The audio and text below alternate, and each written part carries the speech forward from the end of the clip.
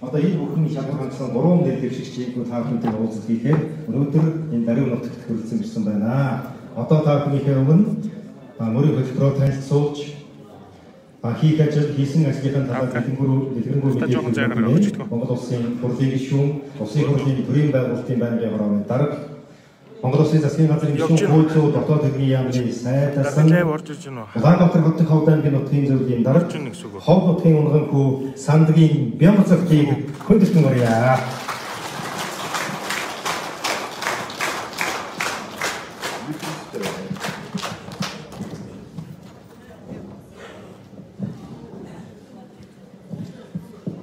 За сайн байцгаана уу Монгол улсын тэргүүний сум Ховд аймгийн Алдартан гавьяатнуудын өлгийн нутаг болсон даривчуу та бүдийнхаа энэ сайхан өглөөний амар амгалан айлтхан мэдчилье.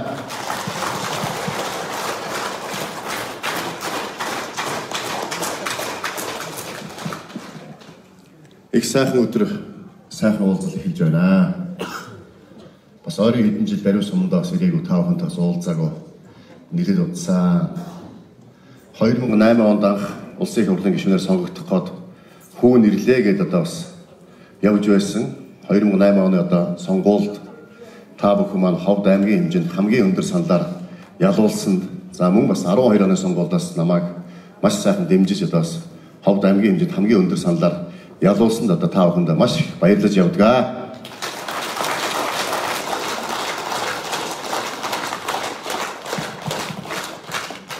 Тэгээ та бүгдийнхээ итгэлэгч бас алдааг бах өнөөдөр бас Монгол төрийнхөө төлөө, ховд нутгийн хөгжлийн төлөө хоёргүй сэтгэлээр зүтгэж өнөөдөр 16-нд та бүхэнтэйгээ уулзаж 2000 одоо 16 20 оны сонгуульд нэр дэвшиж байгаа баяртай байна.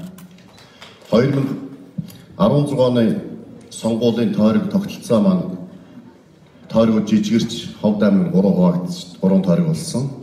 За би 35 дугаар тойрог буюу одоо дундлын тойрогоос нэр дэвшиж өнгөрсөн 4 жилийн хугацаанд ажиллалаа. Энэ удаагийн сонгуулийн тойрог 2020 оны сонгуулийн тойрог нь томсгсон тойрог болсон. За ингээд Монгол Ардын намаас Монгол улсын их хурлын гишүүн, боловсрол соёлын сайдасан цогцлмоо гишүүнтэйгээ за мөн өнгөрсөн 4 жил надтай хамт бас гар ганцаг нийлж сайхан ажилласан Ховд аймгийн 36 дугаар тойрог сонгогдсон улсын их хурлын гишүүн цогцлмоо хэн Батнасан гишүүнтэйгээ хамт ингээд нэр дэвшиж одоо гуруулаа та бүхэнтэй уулзтаа хийж байна.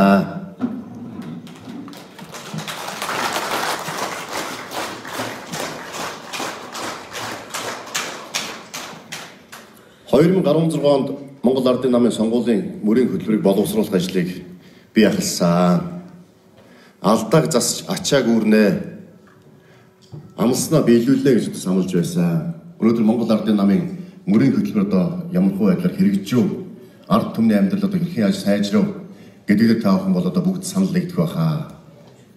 Монгол улсын хэмжээнд одоо 76 тойрогт нэр дэвшиж байгаа Монгол Ардын намынхан хийсэн ажилдаа хэлэх хөвгтэй 2020 оныхоо сонгуульд оролцож байна. Ардын нам одоо ачааг даад ачааг үүрч чаддаг нам, алдааг засч чаддаг нам, ард түмнийхээ талд одоо байж чаддаг нам гэдгийг өнгөрсөн 4 жилийн хугацаанд харуулсан. 2016 онд сонгуулиар та бүхэнтэй уулзахдаа бид амлаж байсан. Ахмадуудын тэтгэврийг тэтгэврийн зээлийн хөг буруулна гэж. За тэгвэл ахмадуудын тэтгэврийн зээлийн хөг бууруулаа зогсохгүй тэтгэврийн зээлийг тэглэлээ. Амлсан амлалтаа бид давуулан биелүүлсэн. Малчтын тэтгэврийн насыг 5 жилээр наашлуулна гэж амлаж байсан.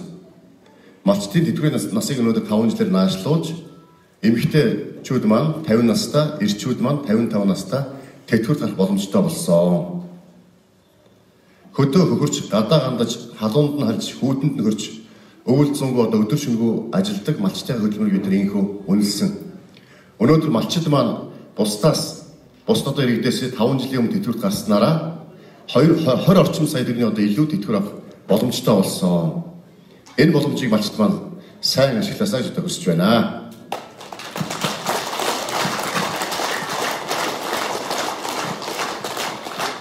Ахмадуудад ат санахтгой ойлголтнаа насны хишг олгодог болно гэж би сануулж байсан.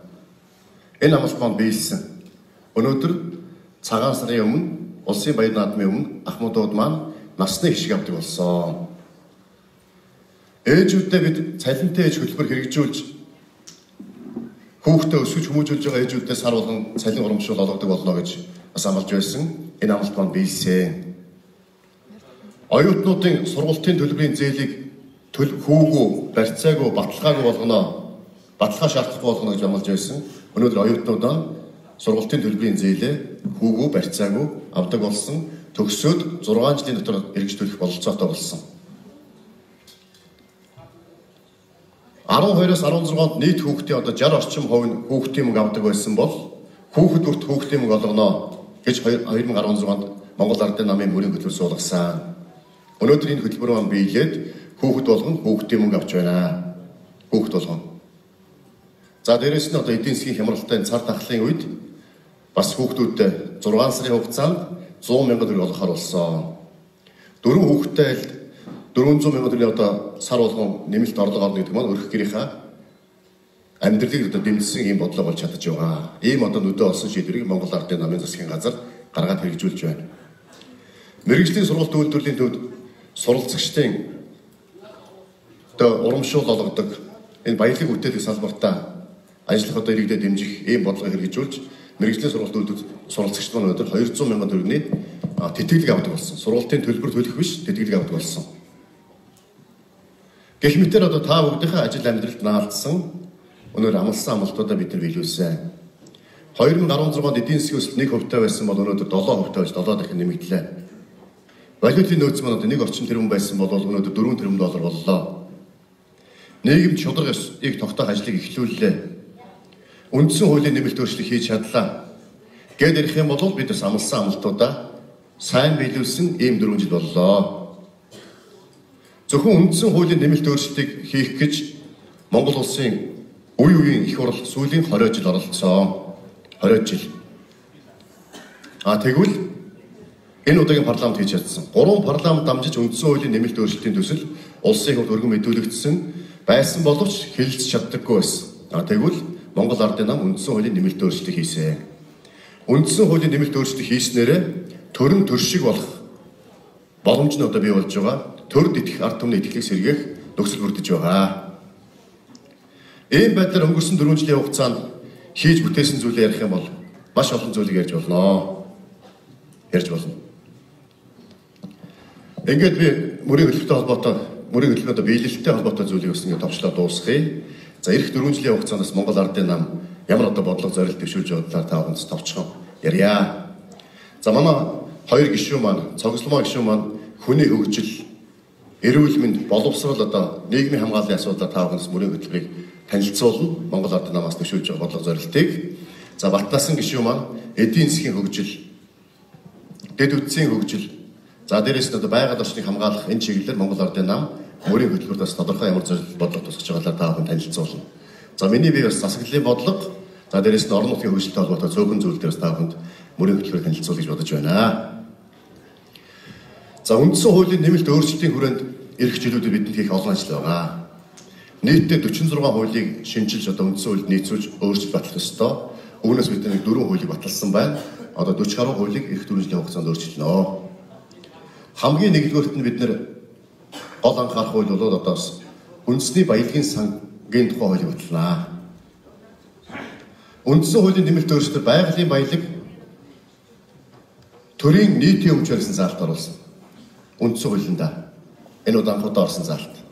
За дээрэс нь байгалийн баялагын үр өгөөжийг Монголын ард түмэнд тэгш шударгаар хүртэх боломжийг бүрдүүлнэ.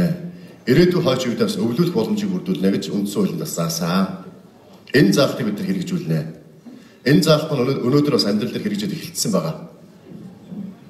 Салхитын мөнгөний орд гэж одоо орд байсан. Гадныхаа одоо эзэмшдэг хятадууд эзэмшдэг юм орд байсан. Энэ ордыг төрдөө буцааж авсан. Энэ ордыг төрдөө буцааж авсны үр өгөөжөөр нь Ахмадуудын тэтгэврийн зээлийг тэгэлсэн. 800 орчим тэрбум төгрөгийн тэтгэврийн зээл байсан Ахмадуудын тэтгэвэр үүнийг зөвхөн одоо салхитын мөнгөний ордыг буцааж авсан түүний үр өгөөжөөр тэгэлсэн.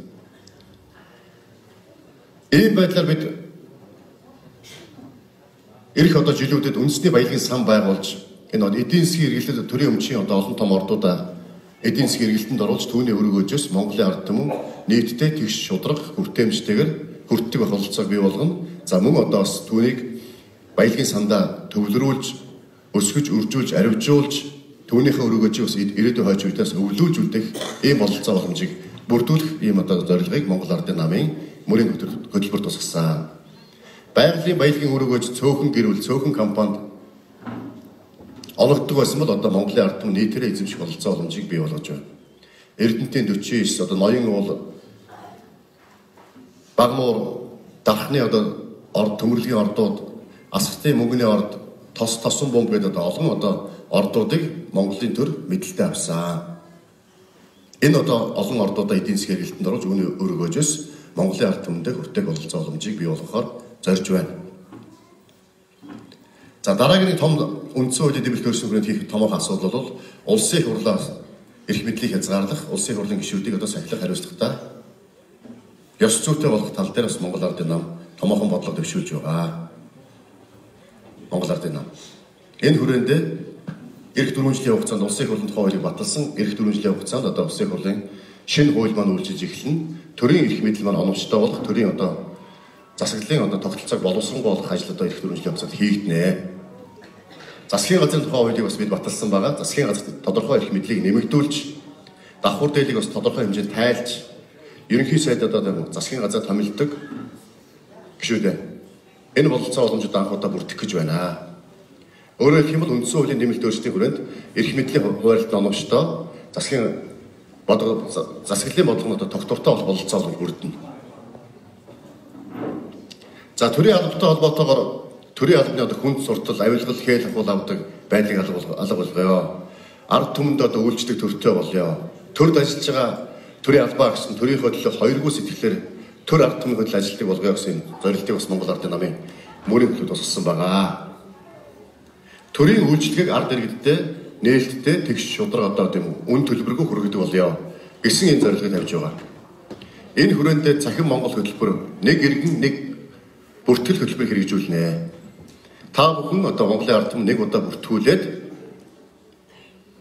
төрийн үйлчлэгийг гэрээсээ гар утаснаас авдаг бололцоотой болно. Өнөөдөр төрийн үйлчлэгээ авах гэж тийм үү? Сумын засаг даргын тамгын газар руу гүйдэг, аймаг руу ордог, Улаанбаатар руу явах шаардлагагүй болно. Үндсэндээ гэрээсээ гар утаснаас төрийн одоо бүх төрлийн үйлчлэгийг авдаг бололцоо боломжийг эрх төрөмжид бид бий болгоно. Ингэж төрийн үйлчлэгийг цахим, дээрээс нь шуурхаа, ил тод, шудраг төрийн албаны хүн суртлаас ангид болгох ийм бодлого зорилтыг дэвшүүлж байгаа.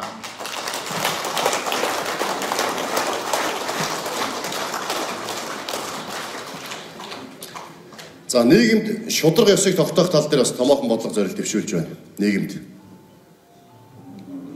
Шудраг ёсны бас ховсгол эхэлсэн. Монгол улсын ерөнхий сайд хөрөлсөг бас шудраг ёсыг тогтоож эхэлсэн. Энэ хөрөлсөгийн одоо эхлүүлсэн шудраг ёсыг бас гүйцэлгмээр байна. Эхлүүлсэн ажлын дуусгуулмаар байна.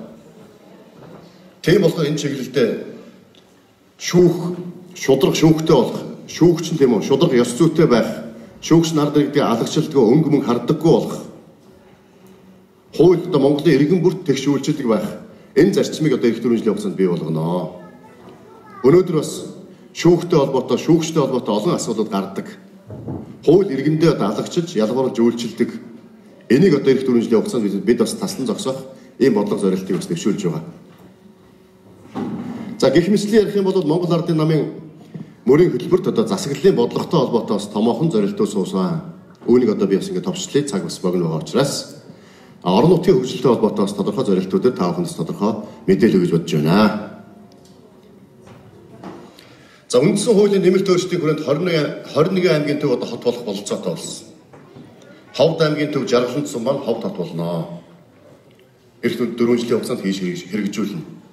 Ховд аймгийн төв жаргаланд сумыг ховд хот болгоо зогсохгүй Ховд аймгийн төвд жаргаланд сумыг ховд татуулгаж өгсөхгүй баруун бүсийн төв ховд аймгийн болох ховд хот маань баруун бүсийн одоо нээсэл болох ийм одоо томоохон амбицтай зорилтыг манай Монгол ардын намаас нэр дэвшиж байгаа улсын хурлын гишүүн одоо гурван гишүүн маань дэвшүүлж байгаа.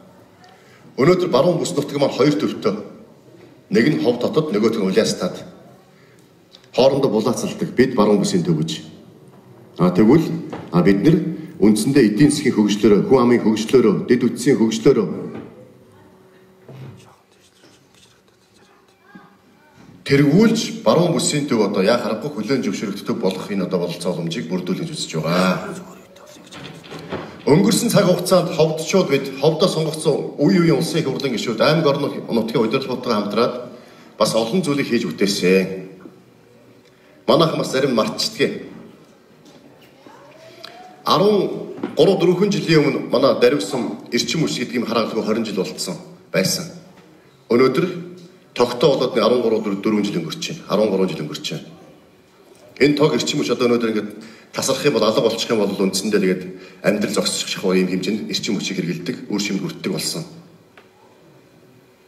2010 оноос өмнө Ховд аймгийн бичгтийн хөдлөөс нааш 1 км зам бариагүй байсан. Нэг сум маань одоо хатуучтай замаар холбогдоогүй байсан. А тэгвэл өнгөрсөн цаг хугацаанд бид нэр Ховд аймагта нийтдээ 1300 км хатуучтай зам барилаа. Ховд аймгийн хамгийн олон сум нь хатуучтай замаар холбогдлоо. Улаанбаатар хот Оросын холбооны улс Хятад улстай бид хатуучтай замаар холбогдож байна.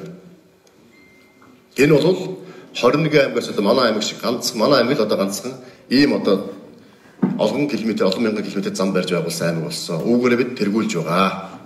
Говьлтай аймгийнхан дэмүү бус аймгийнхан бидэнд атаархаж байна. Говьлтайчууд Улаанбаатартай холбох замаа дуусгах чадаагүй бохт бид нэр сумуудаа холбоод одоо үндсэндээ нэлээ явж идэв. Сумуудаа холбож байна. За эрчим хүчний шугам шүлжээний хувьд бид бүхэн бүх сумдаа эрчим хүчний шугам шүлжээнд холбосон. Найдвартай эрчим хүчээр хангах бололцоо боломж бүрдсэн. Сумын төвүүдэд төрийн үйлчлэгээ явуулдаг барилга байгууламжийг бүгдийг одоо барьж байгуулж шинжилж дуусч байна. Сургууль, цэцэрлэг, эмнэлэг, соёлын төв, спорт зал, дотор байр, нутгийн удирдлагын ордон гэдэг юм уу? Төрийн үйлчлэгийг ард иргэдэд үзүүлэх бүхий л одоо барилга байгууламж байна. 16 сумын хэмжээндээ бүгд шинжилэгдэж дуусч байна. Энэ бол маш том одоос боломж, энэ бол маш том амжилт. Өнгөрсөн жилүүдэд бид бүгдийн хийж бүтээн байгуулсан тийм ажлуудаа. Өөрөөр хэлэх юм бол эрчим хүчний найдвартай сүлжээнд бүх сумд маань холбогдлоо. Хамгийн олон километр замтаа боллоо. Бүх сумдынхаа одоо төрийн үйлчлэгийн барилга байгууламж шинжиллээ. Энэ бол бус аймгаас тэргүүлж байгаа манай ховд аймгийн нэг том амжилт аа. 21 аймгаас манай аймаг маань энэ амжилтаараа нэгдэн орж байгаа. Өөрөөр хэлэх юм бол дэд үтсийн хөгжлөөр нэгдэн орж байна. Үүнийг үе үеийн манай улсын их хурлын гишүүд орон нутгийн удирдлагууд бид хамтарч хийсэн. За бид Монгол Ардын намаас нэр дэвшиж байгаа гурван гишүүн маань бас одоо тэгвэл энэ одоо өмнөх төвшин тийм хөрсөн төвшин дээрээ тулгуурлаад дахиад одоо хөгжлийн шинэ одоо төвшинг бий болгоё гэж зорж байгаа. Энэ бол шинэ ховд хөтөлбөр.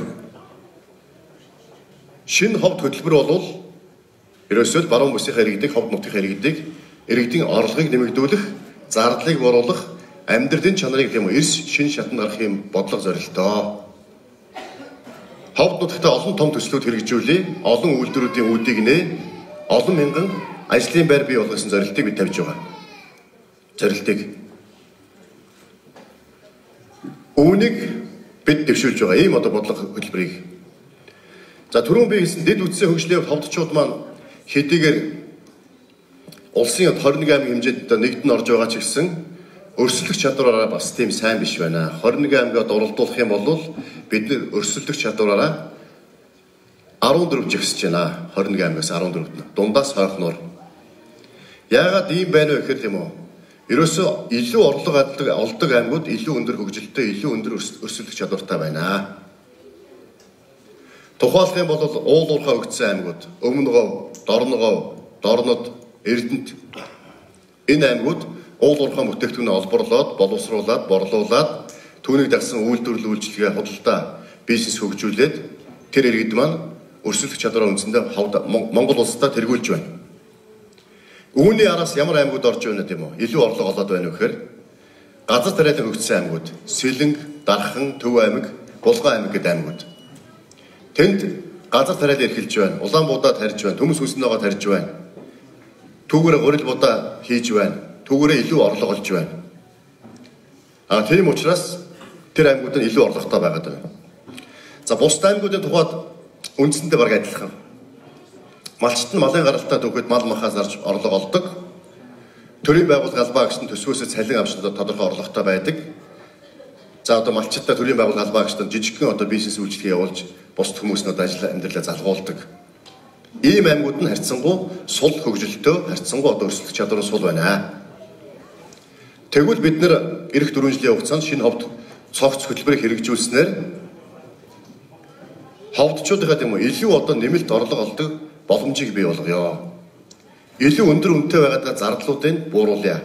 гэсэн зорилт бодлогыг дэвшүүлж байгаа. Өнөөдөр Улаанбаатараас төвөөс аслагдах тусмаа бидний зардал нэмэгддэг. Бензин шатхуун, горил будаа, даавууд айлам, барилгын материал, эрчим хүч, тог цахилгаан гэдэг юм уу. Улаанбаатараас холдох тусмаа бидний зардал нэмэгдээд идэг. А Улаанбаатараас холдох тусмаа бидний орлого багасдаг. Нөгөө зарж борлуулдаг ноос ноолурам хямд үнэтэй, мал махан хямд үнэтэй, төмөс хүнсний ногоон хямд үнэтэй. Бид нэр орлого олдог хэдхэн их сурвалжтай тэд нар бүгд юм Орлого нь бага, зардал нь өндөр өнөөдөр өндөр байгаад байгаа. А тэгвэл эх 4 жилийн хугацаанд шинэ хов цогц төлбөр хэрэгжүүлснээр орлого нь өндөр, зардал нь бага болох ийм зорилтыг тавьж байгаа. Энэ төслүүдийн одоо хамгийн том төсөл бол Эрдэнэ бүрэнгийн усан цахилгаан станц. Эрдэнэ бүрэнгийн усан цахилгаан станцыг эх 4 жилийн хугацаанд барьж байгуулнаа. Өнгөрсөн жилүүдэд одоо Батнасан гишүүн бид нэлээд анхаарал тавьж ажилласан. Коронавирус гараагүй байсан бол барилгын ажил эхэлчих байсан. Одоо коронавирусаас болоод үндсэндээ барилгын ажил нь эрх намар хэлэхэр болж байгаа шүү. 800 тэрбум төгрөг энэ төсөл зарцуулагдана. 800 цэцэрлэг барих мөнгө. Дөрөвний усан цахилгаан станцаас 8 дахин илүү хүчин чадалтай үйлдвэр байгуулагдана. Өнөөдөр бид нар дөрөвний усан цахилгаан станц нийт эрчим хүчний нэг 20 орчим хувийг үйлдвэрлэж байгаа. 1 кВт эрчим хүчнийх нь 300 38 төгрөг. 38 төгрөг. За баруун гурван сум булган уян чалтаасан хятадаас тог авч байна. 1 кг эрчим хүчнийхээ үнэ нь 350 орчим төгрөг. Дөрөвнийхөөс бараг 10 дахин илүү үнэтэй. Оросоос нийт эрчим хүчнээ бид 70% авч байна. 250 орчим төгрөгөөр. Ийм одоо өндөр үнэтэй эрчим хүчийг бид худалдаж авч байгаа аднаас. А тэгвэл дөрөвний усан цахилгаан станц баригдаж ашиглалтанд орсноор бид тийм үү эх орныхоо тийм үү тусгай эрчим хүчний тусгаар тогтнолыг бий болгоно гаднаас тог худалдаж авах уу? Эрчим хүчний хувьд гадны улс орноос хамааралтай хараат байхгүй. Ингэж эрчим хүчний тусгай тогтнолыг бид нэгдүгээрт бий болгоё. Хоёрдугаарт нь хямд үнэтэй эрчим хүчээр ховдчуудаа хангадаг болёо. Хямд үнэтэй эрчим хүчээр ховдчуудаа хангаа зогсохгүй баруун баруун дөрөв аймагт нийлүүлэх төвийн бүс рүү нийлүүлье. Ховдчууд Эрдэнэ үнэг усан цахилгаан станцын хүчин чадлын 10%-ийг л ашиглана. Үлдсэн 90%-ыг нь борлуулж ховдчууд орлого олдог болох юм зорилтыг тавьж байна. За дараагийн том төсөл бол цементний үйлдвэр. Цементний үйлдвэр одоо барилгын ажил ховд аймагт эхэлсэн явж байна. Энэ цементний үйлдвэр чи одоо булаацлсан, баялагийнхан булаацлалтаад, говалтайхан булаацлалтаад арай төрүүлж ховдынхаа хэлсэн. Одоо өнөөдөр 500 орчим хүнд ажиллаж байна. Ирэх жил ашиглалтанд орноо. Ирэх жил Энэ цементний үйлдвэр барих гэж зорилго бол ерөөсөө өнөөдөр баруун тав аймгийнхан Улаанбаатарынхаас хоёр дахин илүү өндөр үнэтэй цемент хэрэглэж байна. Хоёр дахин илүү өндөр үнэтэй цемент хэрэглэхээр тэв түүгээр одоо үйлдвэрлэж байгаа барилгын материал нь илүү өндөр үнэтэй. А түүгээр барьж байгуулж байгаа барилга байш нь орон сууц нь илүү өндөр үнэтэй байгаад байгаа. Тийм болохоор барилгын талх болсон. Барилгын одоо материал түүхийд гол орцсон болсон энэ цементийг хямдруулснараа барилгын материалын үн буурна. Барилга орон сууц нь буурна Ийм л зорилтыг бид тавьж байгаа. Энэ цементтэй тийм ховддоо ингээ барилгын материалын барилга орон сууцны бууруулах зорилгоор цементний үйлдвэр барьж байгуулж байна. Энэ цементний үйлдвэр нь бас увс завхан говьлолтой баялгээд цементээ нийлүүлж орлого олдог болно. Ийм байдлаар та бүхэн бас зардлыг оруулах бололцоог бид эрэлхийлж байна. За дараагийн том төсөл бол нефт боловсруулах үйлдвэр. Энэ нефт боловсруулах үйлдвэрийг бас манай ард иргэд баг ойлгож байгаа шүү энэ холддог, хуурдаг хугацаанд ус Оросоос орж ирдэг ийм бензин хийх юм биш байгаа гэж. А энэ бол тийм зүйл байхгүй. Дорногов аймагт замын үдэдтэй байгуулагдсан олон улсын стандартын шаардлага хангасан Монгол улсын мэрэгжлийн хяналтын байгууллага стандарт хэмжээний газраас нэг тохирол чанарынхаа гэрчлэгийг авсан ийм үйлдвэр Дорногов аймагт ажиллаж байгаа. Энэ үйлдвэрийн одоо хоёр дахь үйлдвэрийг Ховд аймагт байгуулъя. Ингэснээр одоо та бүгдийн одоо өдөр тутам хэрэгэлдэг бензин шатхууны үнийг л хямдруулах гэж байгаа. Бид нар өнөөдөр эддэг хоолтой юм уу өмсдөг хувцастайгаа адилхан бензин хэрэглэдэг болсон. бензин байхгүй бол одоо ажил амьдрал бас л зогсох гээд байдаг. А тэгвэл бензин шатны үнийг бууруулснаар та бүгдийн одоо карманд үлдэх мөнгө чинь нэмэгдэнэ. 100 мянган төгрөгөөр бензин авдаг байсан бол бензиний ч юу тийм үү? Зардал чинь 100 мянга гардаг байсан бол 70 мянга болоод хямдарчих юм бол цаана үлдсэн одоо 30 мянган төгрөг төгрөг нь та бүхэн карманд үлдэнэ. Энэ мөнгөөрөө та бүхэн нэг гурил удаага аваад нэг уут гурил авч бололцоо боломжтой болно. Ийм байдлаар зардлаа боруулъя. Өнөөдөр Улаанбаатарынхаас литр тутамдаа 300-аас 500 төгрөгийн үнэтэй бензин шатгуун бид хэрэгжилж байгаа. Энийг одоо ингэж болохоос одоо өөр арга алга байна. А дээрэс нь овс баян хэлгийнхэнд бензин шатгуунаа борлуулж орлого олдог болох юм зорилтыг бид тавьж байна. За дараагийн том төсөл бол бас шинэ ховд өвөлтөө технологийн парк. Шинэ ховд Өчигдөр засгийн газрын хуралдааны шийдвэр гарсан байна. Шинэ ховд үйлдвэр технологийн парк байгуулах засгийн газрын тогтоол гарсан байна.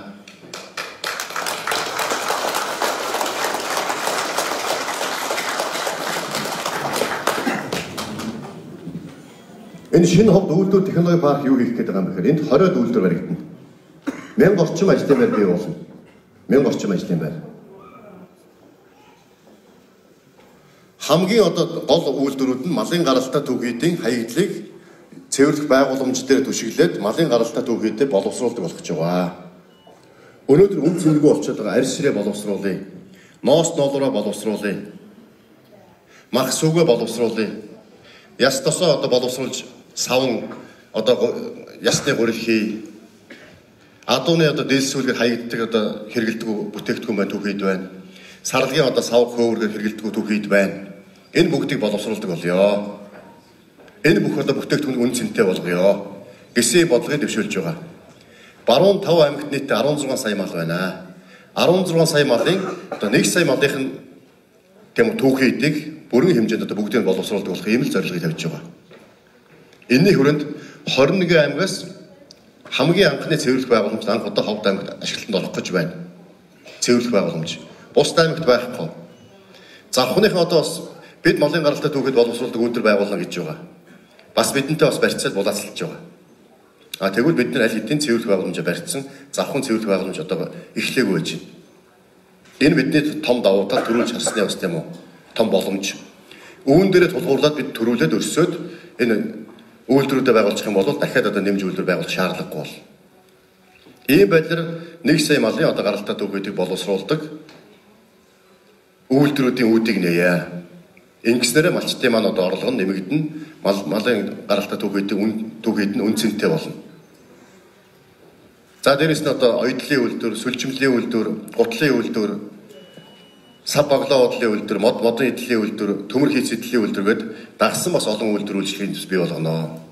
100 га газрыг одоо шинэ ховд үйлдвэр технологи паркт аймагаас олгогдсон байна. Засгийн газар өнөөдөр шийдвэр гаргаад энэ тогтоолоо гаргаад энэ төслийг дэмжиж байна. Энэ төсөл маань одоо эх дөрвөн жилийн хугацаанд хэрэгжинэ. 1000 орчим ажлын байр бий болно. Нийтдээ 20 орчим үйлдвэрүүд үүд нэгднэ. Энэ бичгийн хөтлөөр давхад том ногоон байшин байж байгаа. Тэр байр ширний үйлдвэр арих гэдэг одоо ажил явж байгаа. Цааталд нэг том цэнхэр байшин байж байгаа. А тэр бол нөгөө малын гаралтай түүхэдээ хаягдлыг цэвэрлэх байгууламж. Эхэлсэн ажиллаа. Үүнийг эх дөрвөн жилийн хугацаанд бид хийж дуусгана. За шинэ ховд хөтөлбөрийн дараагийн нэг том төсөл бол ховд аграа парк төсөл байгаа. Ховд аймынхаа иргэдийг эрүүл аюулгүй их нутгаа хөрсөн дуруулсан хямд чанартай хүнсний бүтээгдэхүүнээр ховд аймынхаа иргэдийн хэрэгцээг хангадаг болъё гэсэн зорилт. Энэ хүрээнд малын тэжээлийн үйлдвэр байгуулагдсан одоо ажлыг эхэлж байна. Тэжээлийн ургамлаа тариад, тэжээлийн ургамлаа тариад тэжээлийн үйлдвэрлэлээ өөрсдөө. Оросоос өндөр үнэтэй тэжээлийг худалдаж авч малчтай өгөхгүй ховддоо үйлдвэрлэсэн хямд үнэтэй тэжээлийн малчтаа нийлүүлдэг болёо нэг зорилго. За хоёрдугаарт нь тэр тэжээлэр эрчимдсэн мал аж ахуй хөгжүүлье. Махны чиглэлийн одоо аж ахуйнуудыг хоньны аж ахуй, хурганы аж ахуй, үхрийн аж ахуй, махны чиглэлийн. За дээрэс нь сүүний одоо фермүүд барьж байгуулъя. Сүүнийхээ хэрэгцээг өөрсдөө хангадаг болъё. Тэр тэжээлийг эргэлж.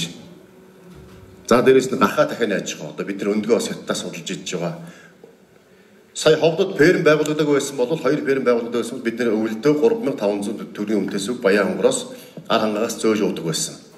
Хоёр ферм байгуулагдсны үр дүнд өнөөдөр сүү 2000 болсон цаашдаа 1500 болно. За тэгээд өндгөө бид хятадаас Улаанбаатар зөөж иддэг бол одоо өндгөө бид өөрсдөө аж ахуй тавлж өөрсдийн өндгөө хэрэгцээг ханган дээрээс бус аймагуудаа нийлүүлдэг юм болгож байгаа. За өвөл зуны одоо хөлөмжүүд барьж байгуулъя. Өвөл зөнгөө одоо төмс хүнсэнд байгаа жимс жимснээ хөлөмжөндөө тарьж ургуулад шинэ одоо хямд үнэтэй их нутгийн хөрсөн дөрвсөн хүнсний нөгөө төмс жимс жимсний өөрсдөө хэрэгцээг хангадаг болъё. Ийм одоо бодлогын зорилтуудыг одоо болгон гол дээрээ бид ховд гол буян толгой савдагоос юм агра паркуудыг байгуулах гэсэн юм зорилт төвшүүлж байгаа. Ингэж хүнснийхээ хэрэгцээг өөрсдөө хангадаг болох гэсэн зорилтыг тавьж байгаа.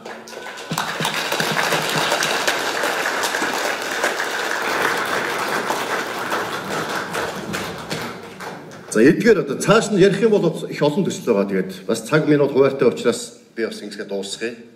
Өөрөөр хэлэх юм бол одоо саяны одоо хэлсэн тийм үү? Эрчим хүчний Эрдэнэрийн усан цахилгаанаас барьж эрчим хүчээ хямдруулъя. Эрчим хүчээ зарж орлого олдог болёо. Цементний үйлдвэр барьж байгуулж цементтэй хямдхан өөрсдөө хэрэгэлдэг болъё. Цементний зардалаа боргоё, цемент гардаг. За барилгын материал худалдаж авдаг зардал маань бол орон сууцны үн хямдарна. Ингэж өөрсдөө тийм үү? Хямд үнэтэй барилгын материал, хямд үнэтэй орон сууцнд амьдрах бололцоо боломжоо бий болгоё. За дээрэс нь энэ цементээ зарж борлуулж баруун тав аймагта орлого олдог болёо гэсэн зорилтыг тавьж байгаа. За энэ хүрээд бас хашаандаа сайхан амьдрал, сумандаа сайхан амьдрал хөтөлбөрийг бид нар бас хэрэгжүүлэхээр зорж байгаа. Манай аймгийн төвийн бичигт Баатархан тахилт баг дээр гэр хорооллын талын хашаанд цэвэр бохир усны шугам тавиад эхэлсэн байна. Та бүхэн бас харсан, үзсэн байх, сонссон байх. Тэр цэвэр бохир усны шугам тавьснараа тэр хашаанда, хавста, халуун хүүтэн устаа, цэвэр бохир устаа гал төлдөггүй тийм үү? Гал төлж одоо агаар бохирд бол гутаа гаргахгүй. А дээрэс нь үнс нурамтай нүүрстэй зууралдахгүй. За гаднаа бие систем гаднаа жорлоо ухаад хөрсөө бохирдуулахгүй. Бас одоо өмхий хамхтаа холилдохгүй, утгалдахгүй байх юм бололцоо боломжийг бүрдүүлэх гэж байгаа. Тэг хүлэмжтэй хүүхдийн тоглоомын талбайтаа ингээ хашаанда хавстаа амьдрах бололцоо боломжийг бий болгох гэж бид нар хашаандаа сайхан амьдрах амьдрах хөтөлбөрийг эхлүүлсэн. Бичигт Баатархан тахил баг дээр явж байна. Энэ хөтөлбөрөө бид нар 12 баг дээр ховд аймынхаа нийт гэр хороолд ирэх жил хэрэгжүүлэх зорж байгаа. За дээрээс сумандаа сайхан амьдрах хөтөлбөр хэрэгжүүлж бас сумын иргэдээ бас аятаа тухтай амьдрах бололцоо боломжийг бүрдүүлэх зорилго тавьж байгаа. Монгол Ардын намын мөрөө хөлөөс уусан. Үүнийг хэрэгжүүлэхийн тулд ипотекийн зээлийн хүүг 8 биш 4% болгож 2 дахин бууруулъя. Ипотекийн зээлийг зөвхөн одоо аймгийн төвд нийтийн орон сууц судалж авах гэж байгаа. Улаанбаатар хотод нийтийн орон сууц судалж авч байгаа. Иргэд л хамардаг болвол бид нар хашаа байшин тийм үү хашаанда байшин барих гэж байгаа иргэдэг ипотекийн зээл хамруулах бололцоотой болгоно. Энэ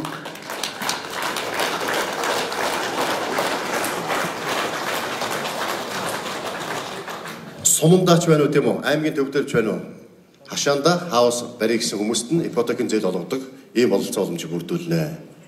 За дээрэс нь ипотекийн зээлийн хүүг хоёр дахин буруулах нь байна. А дээрэс нь нийгмийн даатгалын шимтгэл төлж байгаа ажил хийж байгаа иргэдтэй урьдчилгаа 30% авахгүй болох гэж байгаа. Ийм байдлаар одоо хашаандаа сайхан амьдрал, сумандаа сайхан амьдрал хөтөлбөрийг бид хэрэгжүүлнэ. Энэ төслүүдийг бид нийлүүлээд шинэ ховд хөгжлийн одоо хөтөлбөр гэж байгаа. Энэ төслүүд хэрэгжснээр бидний зардал буурна, бидний орлого нэмэгдэнэ, олон одоо үйлдвэрүүд үүдэнэ олон мянган ажлын байр бий болох юм аа. Ингэснээр бидний амьдралын чанар шин шатанд гарах юм аа. Үүнийг бид нэр шинэ ховд хөтөлбөрөөр нэрлэж байгаа. Шинэ ховд хөтөлбөр бол шинэ боломж, шинэ ирээдүй, шинэ хөгжил, хөгжлийн шин шат. Энэ одоо сайхан шинэ ховд хөтөлбөрийг хэрэгжүүлэх гэж дэвшүүлж байгаа. Монгол Ардын намаас нэр дэвшиж байгаа. Бид бүгдийг бас багаар нэмжээрэй та бүдээс хүсье.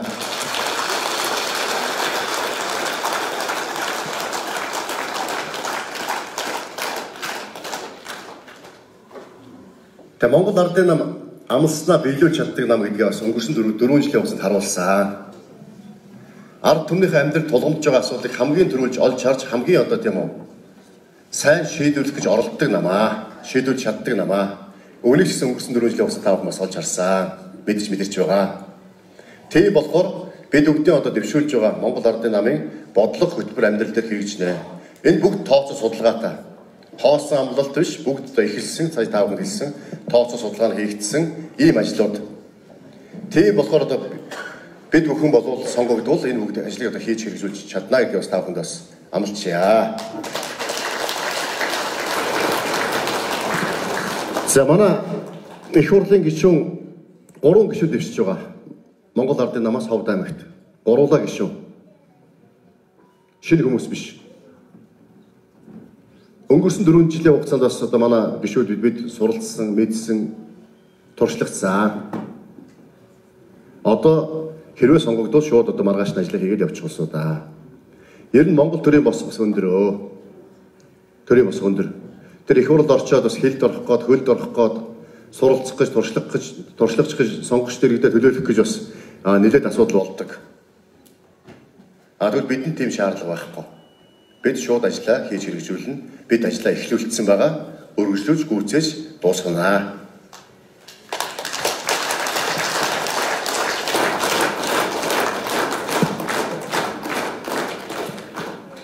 За цогцлоо гişүн маань 2016 онд Ховд Улаанбаатар хот Сүхбаатар дүргээс сонгогдсон.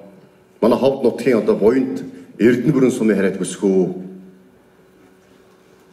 Ховд аймагт нийтдээ 92 оноос хойш 20 гаруй гишүүн их урлын гишүүн сонгогдсон байдаг юм байна лээ. Тэнд дотор нэг ч одоо эмэгтэй гишүүн байхгүй байгаа. Нэг ч эмэгтэй гишүүн. Аа тэгвэл анх удаа эмэгтэй гишүүн Ховд аймагт нэр дэвшиж байна. Эмэгтэй хүн.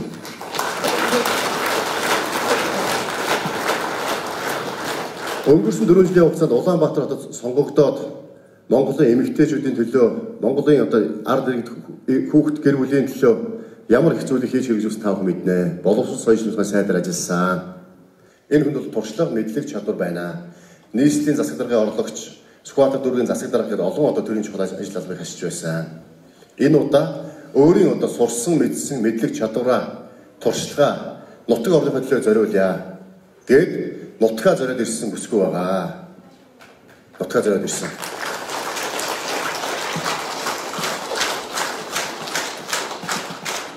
Эмэгтэй хүний бас мяндсан ухаан бас энэ Монголын төрд ялангуяа ховдчод бидэнд бас хэрэгтэй байна.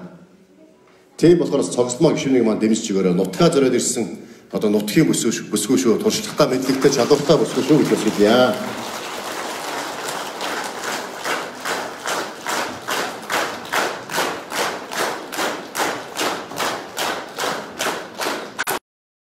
Тэгээ нутгийн бүсгүйгээ дэмжихгүй бол нутгийн охин чинь бас тэгээд унчих юм бол уйлж магадгүй шүү тэгээд. Бити уйлуулаараа тэгээд. За Батнасан гişүү битэр өнгөрсөн 16-нд Ховд аймагт нэр дэвшсэн. Батнасан гişүүгээ би бас 16-нд дэмжиж бас өөрийнхөө бүхэл бололцоо боломжоор дэмжиж хамтарч бид ажилласан. Улсын хөвлөн гişүүн болсон. Өнгөрсөн 4 жилийн хугацаанд бас гар анзаг нээлж, гар сэтгэл нээлж ховд аймгийн хөгжлийн төлөө бас хоёр гүйцэтгэж зүтгэсэн. Үнэхээр бас нэг ажлын ард ороод нэг ажил бариад авчих юм бол зүтгэж чаддаг, хийж чаддаг, ард нь гарч чаддаг хөө. Энийг бас харуулсан. Тойрогтой маш их бүтээн байгуулалтын ажлууд хийлээ. Бас нэлээд одоо удаашралтай хэдийгээр эхэлсэн байсан боловч удаашралтай байгаад байсан хоёр том төслийг бас хариуцж авсан. Баруун бүсийн эмчлийн ажиллагааны төвийн төслийг хариуцж авч үр дүнг гаргаж байна. Эрдэнэ өрнгийн усан цахилгаанаас урагшлуулахад тодорхой ажиллаж ус үр дүн гаргаж байна. Тийм болохоор бас нэг нэг ажлын ард орчих юм бол хийж ард нь гарч чаддаг ийм одоо чадвартай сэтгэлтэй зүтгэлтэй хүн гэдгээс харуулсан. Ховд аймгийн булган сумын харьяат ховд нутагтаа төрж өссөн ажил амьдралаа залгуулж байсан юм хөө. Энэ хүний бас тийм чадвар туршлага Монголын төрд Монгол ховд аймгийн ард түмэнд хэрэгтэй байна. Батнасан гişүнийг маань таавах хүмүүс сайхан дэмжиж өгөөрэй гэж таавахаас би асуусья.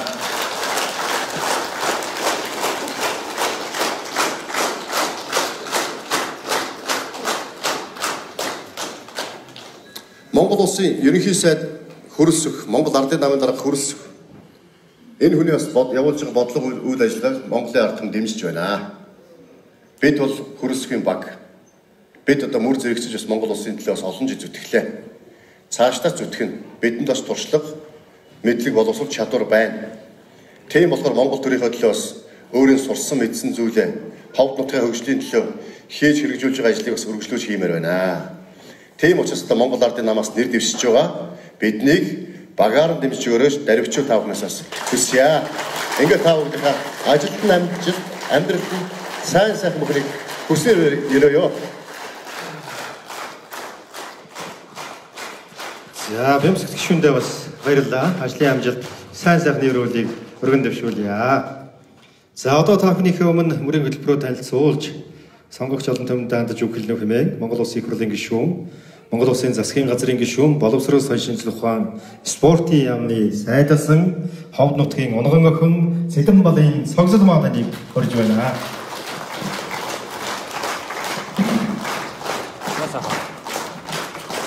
Финиш. За сайн байцгаана уу?